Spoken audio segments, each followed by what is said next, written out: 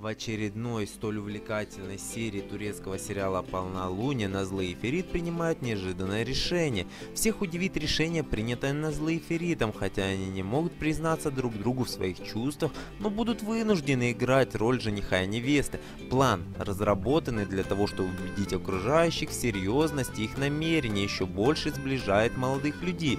И больше всех в этой игре, которую они скрывают ото всех, поддержат их Фатош и Ангин.